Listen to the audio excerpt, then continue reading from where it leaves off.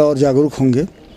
और, मैं यही अपील करूँगा लोगों से कि ज़्यादा से ज़्यादा संख्या में आकर के वोट दें और एक बढ़िया सरकार बनाएँ, जो जनता के हित के लिए कार्य करे और एक आदर्श मतदान केंद्र पर आज मैं मतदान कर रहा हूँ। और बहुत बढ़िया माहौल है यहाँ का। पानी की व्यवस्था है, चिकित्सा की व्यवस्था है। और यहाँ वोटरों को का, का काफ़ी सहयोग किया जा रहा है कि ज़्यादा से ज़्यादा मतदान हो सके।